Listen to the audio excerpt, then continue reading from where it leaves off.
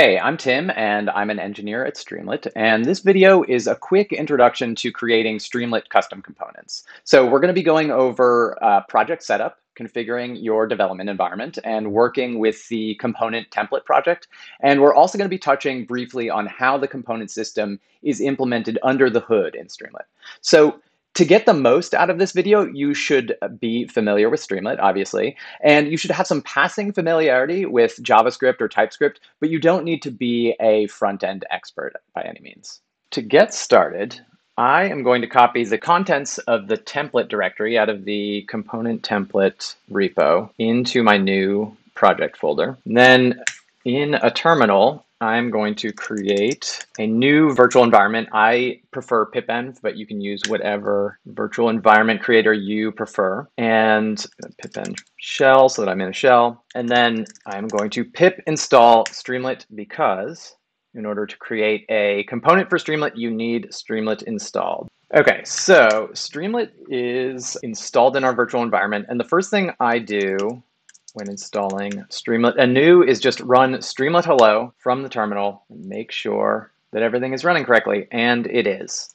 Okay, next I am going to open this project in my Python IDE. I like PyCharm, but you can use whatever you choose. And I'm going to pop open PyCharm's built-in terminal. Now I am going to open the front-end code in WebStorm. So I might be the only Streamlit engineer who does this, but I really like using two different code editors uh, when I'm doing Streamlit work, one for front-end code and one for Python code. So um, in WebStorm, I'm going to open the my component front-end directory. I'm going to ignore these annoying pop-ups, and then I'm going to open another terminal. So, so just to be clear what's going on here, this light-colored background editor. This is for all of my front end code. And then this dark colored background editor, this is for the Python code. So first I'm going to run npm install in the front end. And this installs the initial packages that this component template requires to get built. The next thing to do is run npm start.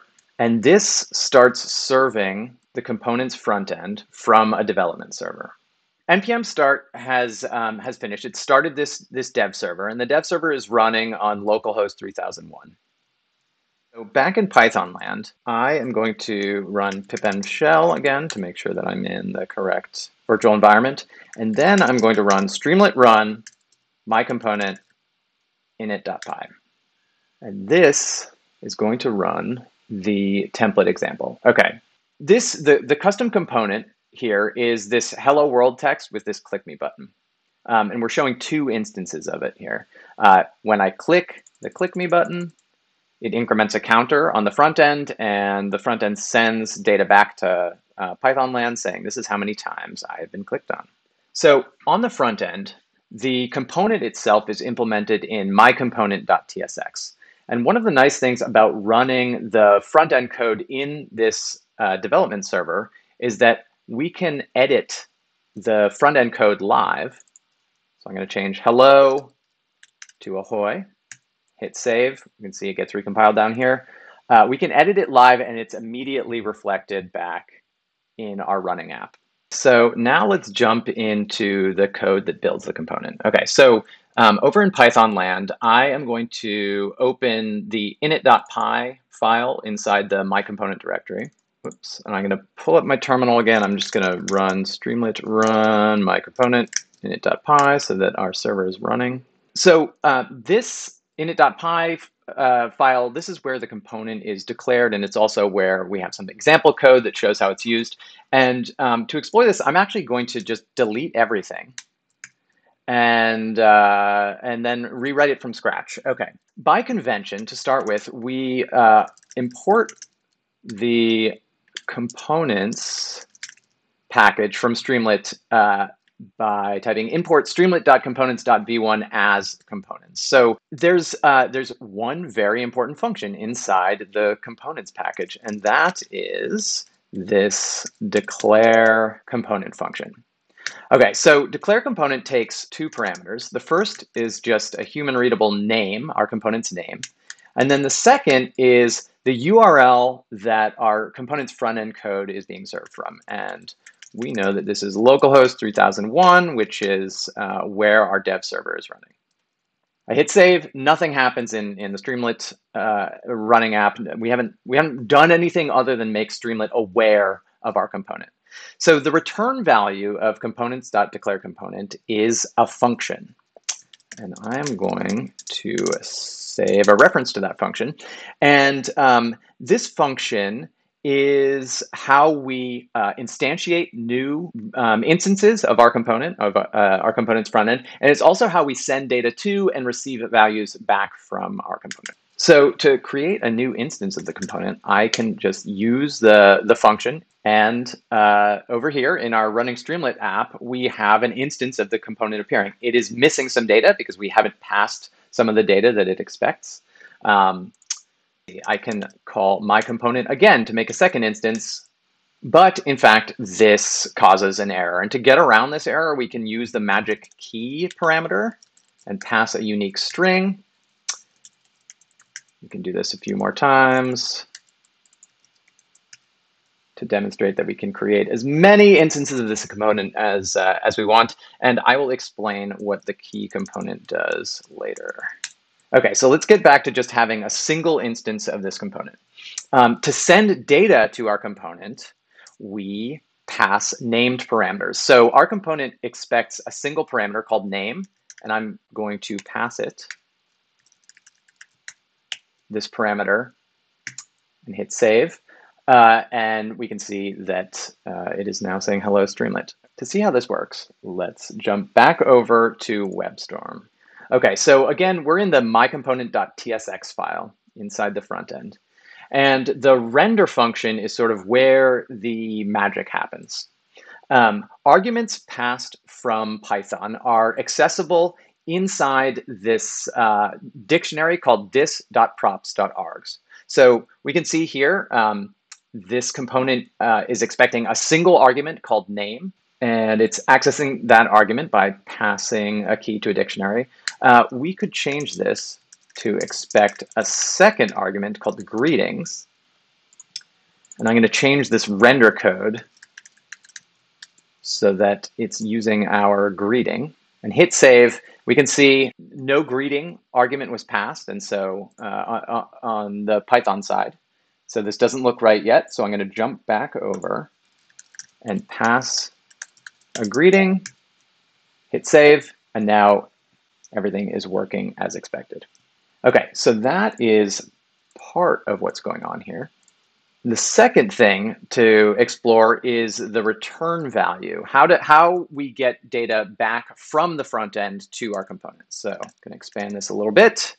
Um, our component function returns a value. We can assign that value to a variable, and then we can print it out. And of course, it is helpful if we import Streamlit. Okay, so to start with, our component is returning none. It has no value. Let's see if I click this button. Ah, our component has a new value. It has a new value every single time I click this button. How does this work? Um, let's go back to front-end land.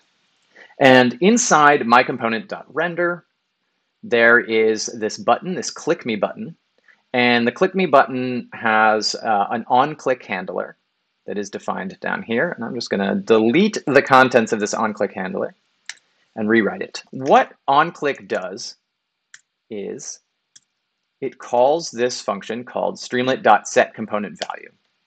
And um, any value that we pass in streamlit.setComponentValue will be received as the return value from our um, Python component function. So if I were to pass a string, I'm a return, I am a return value and hit save. This is going to get recompiled. Now, when I click the click me button, we can see indeed I am a return value gets passed. So I'm just going to revert back to uh, what this originally looked like. So um, our component template has a bit of state. It, it remembers the number of times it's been clicked. And in the click handler, it increments that internal num clicks counter and then sends the new value of num clicks back to Python. Okay, cool.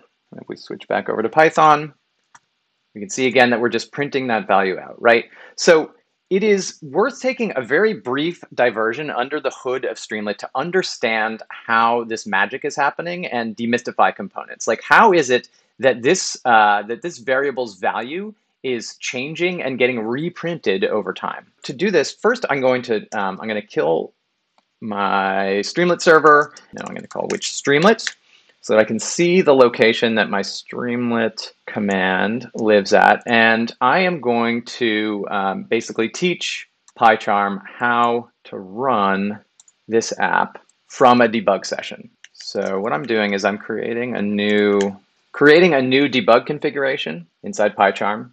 Uh, and I'm telling it to to run Streamlit run my component init.py, and I'm making sure that when it calls Streamlit run, it's uh, it's executing the Streamlit that's inside the virtual environment that we created. Make sure its working directory is set properly. Okay, so now if I click the debug button here, let's make sure this is still working. Cool. So now we are uh, running the same Streamlit app, but instead of running it from a terminal, we're actually we're running it from within a debug session inside inside PyCharm. To modify this a bit to say component tutorial, give it a title. And down here, let's say return value.